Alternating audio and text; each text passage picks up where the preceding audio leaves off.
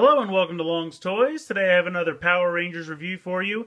This is another figure in the Legacy line. This is Billy the Blue Ranger. As you can see, the packaging here is meant to mimic the 90s triangular packaging.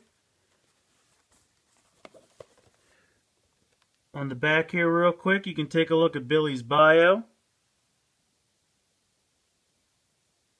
And the other figures in the line. And then if we pull out up here, this is the story listed in English, French, and Spanish. So these figures are very cool. As you can see right down here, they are Toys R Us exclusives. So we'll go ahead and get Billy out of the packaging and we'll take a look. So here we have Billy out of the packaging and I think he looks fantastic, just like the other figures from this line. Just like Zack the Black Ranger, he is a kind of retool slash repaint of the red Tyranno Ranger from the normal uh, $10 line of 5 inch figures. Uh, he looks really good. I get in close here so we can take a look at his head, or I should say his helmet. Really nice detailing on the helmet. I really like the three horns and the blue, uh, yellow eyes on the helmet there. And then if we get in close for his belt buckle, you can see the Triceratops so it's very, very nicely detailed. Let me come back in here. There we go. He's got the same articulation as the other figures in this size. Uh, head side to side, uh, swivel up and down and 360 here at the shoulder, 90 degrees at the elbow. The glove can swivel uh, back and forth and out to the side at the hip. 90 degrees at the knee, and the boot can swivel. So it's a very nice amount of articulation here. He looks very good.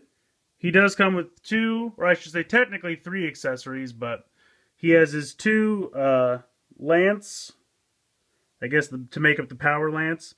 They are pretty much identical except for that this one has an extra peg on the end and this one has a hole so that you can push them together. So he can have his power lance. And if you get really close, let me see if I can make this. Have to move Billy to the side, it won't focus otherwise. But the Triceratops logo power coin is on both sides. I guess it's actually upside down on that side. So that's a really nice touch. I think that looks really good. I really like the fact that you can put these together and also use them separately. And the other weapon he comes with is the Blade Blaster, which is the same as all the other Blade Blasters from this line. Painted the same, nicely detailed. So if we bring Billy back in, I'm going to go ahead and just plug his Blade Blaster into his waist here. He's got a little hole in his waist on each side, just like Zack did. So you can mount his weapon on there. And then these two can just slide into his hands, no problem